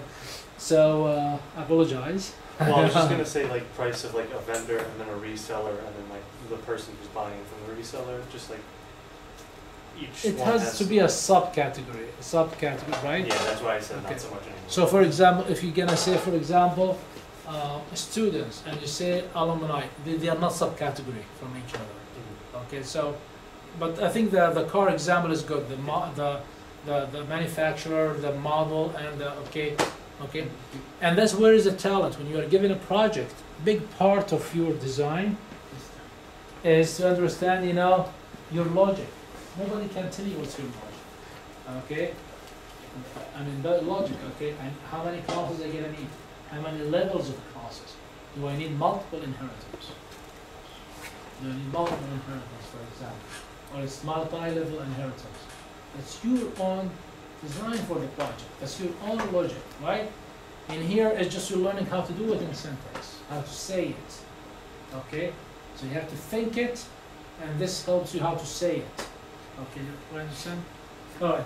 So, and, and becomes very complicated because, like, you know, the search, when you search, for example, for an attribute, attribute, right? Okay? it has to go through a sequence. Alright? It has to go through uh, a sequence, certain sequence. Alright? or not attribute, actually a function, for example. Okay? So let's say in all of these, in all of these, you have what? You have a, a, a method that you override. So that means the method with the same name is existing where? In all of them. Alright? So, and when you're trying to call a method, which one gonna call first? Alright? Okay? Alright, the, the sequence, right? The sequence, right? So it's gonna start to find it here. If it does not find it here, it's gonna go here, here, the sequence. That's very easy sequence. But sometimes the sequence will become very complicated. Take a look in here. Okay, so in here you have like object, you have X, Y, Z, A, B, M, alright? So this is, that's your project. You have like multiple inheritance, okay. So if you're trying to call a method in here, what is the sequence? You're gonna try to find here, then here or here, then here or here or here, then what's the order? So it becomes very complex and you have really to understand. Anyways, it's not a big deal because there is something called, you know, um, uh, uh, uh, MRO. So all, if you need to know the order of the execution type print M, R, O, and it will tell you. So in here, for example, it starts with the M, then you're gonna go to the B, then you're gonna go to A, then you're gonna go to X, then you're gonna go to Y, then you're gonna go to Z, then you're gonna go to the object. Alright? Alright? And let's say this order is not the one you wanted. Then you have to change the order how you establish or how you call the classes. Alright? So it becomes much, much more complex. I'm sure that you, you know, for example, like last semester I gave them project to design canvas. You know what's canvas, right? The one you use, right? So that was my project for them. So you have the canvas, redesign canvas, your own. I'm sure that you're, you realize that you're gonna have so many classes, okay, and, and these classes depend on each other, and you know, something for faculty, something for, and, and they have to create it as like not a student canvas, it's like real canvas. You have multiple faculties, multiple courses, multiple students. Students could register their class with multiple faculty, and the faculty could have multiple classes, and the student could have multiple courses, and go figure out, right? Okay, and link everything together. Okay, so in your code and you're designing it. So, all right. So it's a very important to, to, to know these these stuff, right? What is the operator overloading? So we're talking about, we spoke about overriding. So what is overriding? Is to override a function, any function, all right? Overloading is like overriding, but for operators. So for the plus, for the minus, for less than, greater than, these are functions inherited from somewhere, from the object, right? So look in here, class point. When you say class point, okay? So class point, how many how many attributes? Any point, how many attributes it has? Two. What are the two? Position x, position y. All right. It could be three. Z, we add z, but this is two, right? In here. So in here, for example, and here I created an object p1, point two and three. P point two, point minus one and two. When I say p1 plus p2, what does it do? Give me an error. And there is, I mean, how can I add point one to point two? Okay, okay, so I have to override the plus operator. Then it will make sense. I have to override it, right? Okay? So what I do in here, what I do in here, so uh, I create, okay, so first of all print, I override the print. So remember that when you write the underscore, underscore, str, underscore, this is the print. So what I did, when I say print a point, it will return for me this, self x and sex 1. Let's try it together. So point 1 is 2, 3. Print P1, it returned what? Exactly like I designed it in here. So what I did in here, function over riding, not, not operator overloading, and not do operator overloading yet. In here, so in he, okay.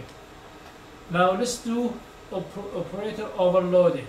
Operator overloading. So, so what we did in here, this is a point defined. Then before I override the str, and the addition is basically a function. It's the add underscore underscore add. So what I do in here, what I say, x self x plus other x, y equals y plus the other y, and then return the point.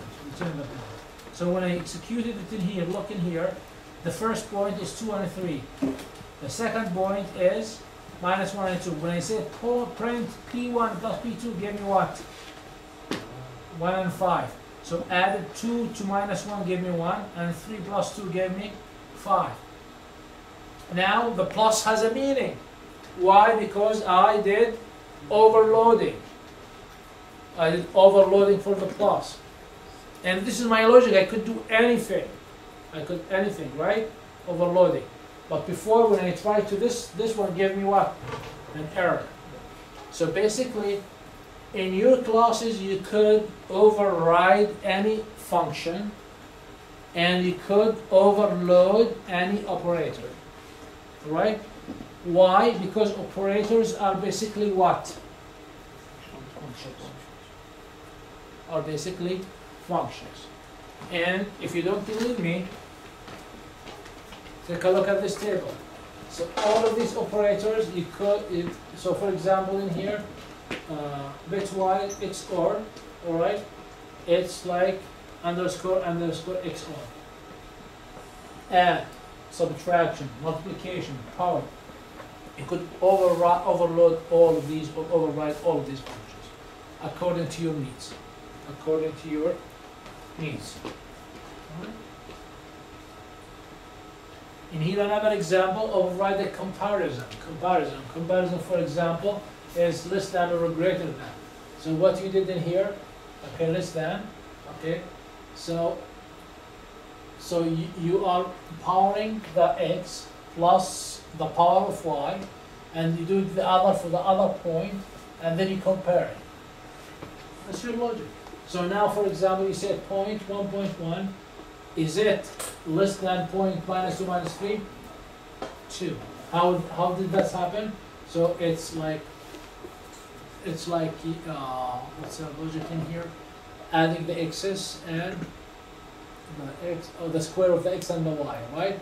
So one square plus one square, two. In here, minus two square will be four. Minus three square will be nine. Nine 4, 13. Is that greater than greater than one? Yes, then give you true. Right? That's your logic. But what, what, what logic you want? Basically, any, that's what I say, any, any function you could override and any operator you could overload. This is the property decorator for any function, okay? So the property decorator, let's make a method behave like attribute. That's the only thing of, that's the nice thing about the, the decorator. It makes, it makes any function behave like attribute. Okay, so you take a look in here. Person, you have the person, the person has first name and last name, right? So you, you, you constructed first name, last name. So I'm creating in here, in here, full name, self, and return the, uh, the, the, the, the, name and the surname, right? When I put add property in here, okay, now I could, you know, deal with it, I could deal with it like what? Like, like, uh, attribute. So in here, for example, Jane, person, test two attributes, Jane and Smith, print Jane dot full name, dot full name. Full name is what? It's a function. Function should have what? Should have what? Parentheses, right? Okay? When I when I added a a property for it, now when I called it, did I have to put the parentheses in here? No. Why? It it allowed us to treat a function as as a should. Okay? Is that similar to a delegate? What? Is it similar to a delegate? Delegate? Is it similar? Delegate really. in Java? I have no idea. I'm not a Java person. I like T more. So, yeah, I don't know. Alright? So that's what it is. Property is, it's, it make you faster, fast, you call functions uh, like uh, attribute. Okay? Alright, getter, setter, and delete method. So we know what's getter, we know what's setter, and also you could create another function called, you know, so for example, property will be getter. The font name that setter, this will be setter, and you could have deleter, okay, to be able to delete the function. So when you execute, you could use the function del, del, okay, and then you print it, there is nothing, it's, it was deleted. So you could have setter, getter, and deleter, deleter, okay? You know, uh, Why would you use a deleter? To, to remove from the memory. Okay, so, you know, I mean, usually when you, when you create an object, when you create an object, it will stay until you finish executing the program, right? Let's say that you have a very heavy or intensive program that you need, once you finish using this object you created, you need to remove from the memory. To save, to speed up the program, to save the memory, you delete it. Okay? So it's a little bit advanced. You might know for your application you don't need it, but it's really, you know, uh, it's, uh, uh, this is, by the way, it's, uh, it's managed automatically in Java. In Java, you don't have to to to delete it. Object properties using the dir function. Okay, so in here, for example, as you see in here, what we did, I mean, we created what?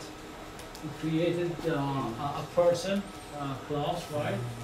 When I say print dir Jane, is object of person. Look what gave me. That means all of these functions are inherited from somewhere above, right? We know few of them, right? What we know? We know the dir by itself. We know the doc, we already saw the doc, the equal, uh, the format, what is format? It's like str, like print, greater than, we know, ge- do you have, uh, init, we know what's init, less than. Okay, you know, what else you know, uh, this one, right? Okay, and of course, you have how many from there? You have the full name, the name, and uh, the surname, which is the att- attributes and the object. So, if you need to know all the functions and attributes inherited by, okay, just run the diagram, D- dir, the directory dir, okay? And you feel free to override any of these, override all of these, right? By the way, all this information not in your textbook, I mean, uh, it's a little bit advanced, so, you know, so, uh, make sure also you get them from the slide, not, okay? All right? So examples of special object properties, okay, we already covered, covered a few of them, right? The init, the, the str, the class, the equal, the add, for plus sign, iteration for iterator with next, right? Length, all right? So for example, now, now when you have, when you have a list, what is a list? An object. When you try to, or string, when you try, when you say len of the, of the string, will give you a length. This length is something inherited from the object. Okay? You created your own class, I would like, uh, like, like, like dice, you would like to know the length of the, of the list, for example. Or that, you could override this. Okay, you could override it. Okay? And then next. So, so basic, basically, basically you have to understand the structure of Python. Structure of Python is like everything Python is objects. Starts from where? From the object class. And even even the the the the, the, the, the exceptions is an object. Is classes. You could create your own you know exception classes. Alright? And everything will inherit inherited and you could inherit it from the from the object, make other other other also uh, classes. And when you create your design your design your project, you have a classes. You can create a class inherited from other classes, multiple inheritors, multiple inheritors. You have to know the order that will search for a function or for a method. All right, and you have to know what are the possible because that will help you a lot. You need to know what are the possible functions in, in the object that you could override. All right. So, for example, when you create your, any class you create, you need you need to be able to display it. You need to be able to print it, or just override the underscore str or the format, the same thing. That would be the print, right?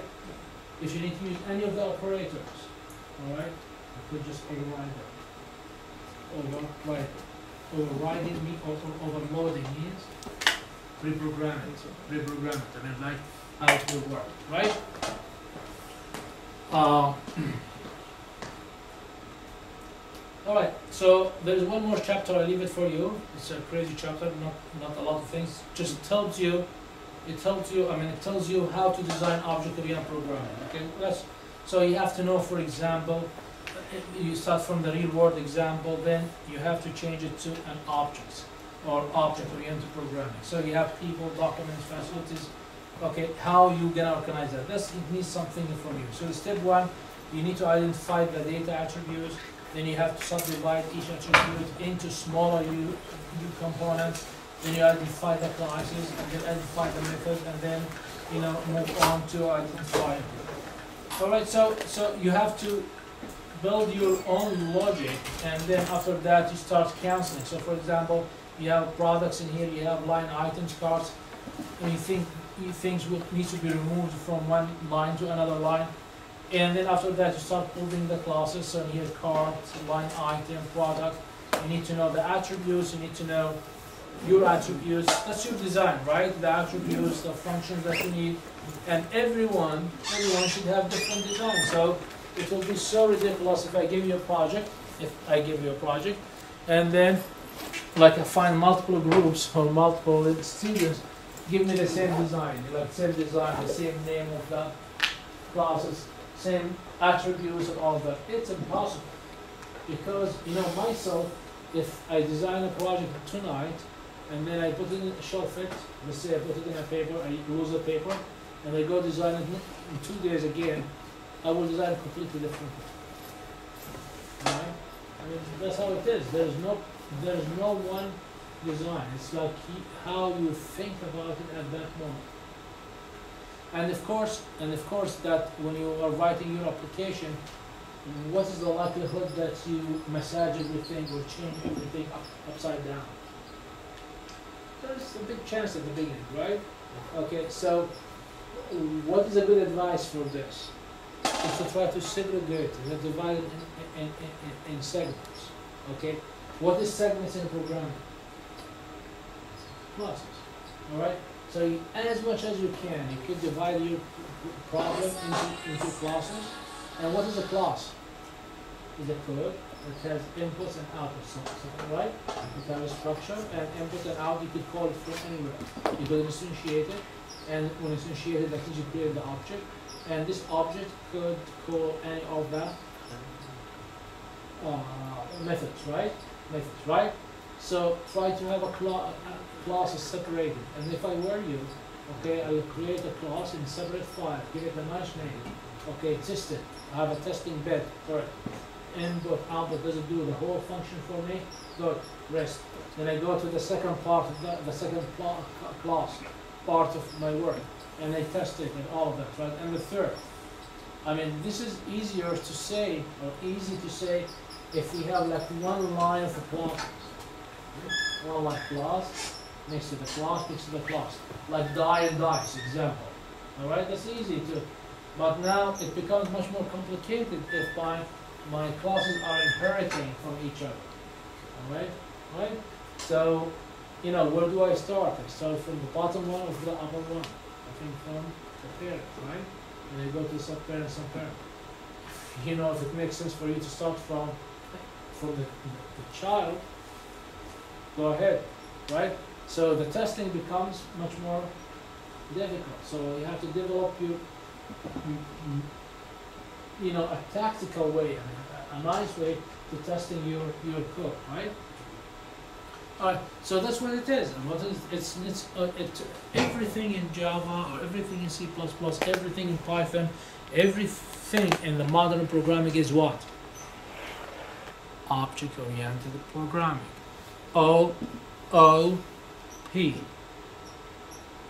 Okay, creating objects, creating objects. All right, and you know, in Python and okay, a lot of libraries are written. So, for example, when you say, for example, NumPy, for example, or pandas, which we're gonna use. All right, all right. So, what we are doing, mean, what is the first thing we do? Import pandas as B, for example. So what we are importing? A library. The library built of what? Many classes. Many classes. You saw the, the, the classes that like many like that pandas. Okay, pandas by the by the by the way, it's it's, it's by itself the catalog is like this. And it's just a library. Just a library, right? Okay, so some people it with Python, right? Okay, all right. So now you imported what you are doing. Using the leaves. So you have classes inside many classes, and these classes having these functions as leaves. So you're calling these leaves. Just you are getting training to how to use it. Okay, use it, and you know using it for your logic. All right. So I mean, I think next week we're gonna have. Let me check what we have next week. By the way, the midterm will be in the week. It will be it will be in the week of uh,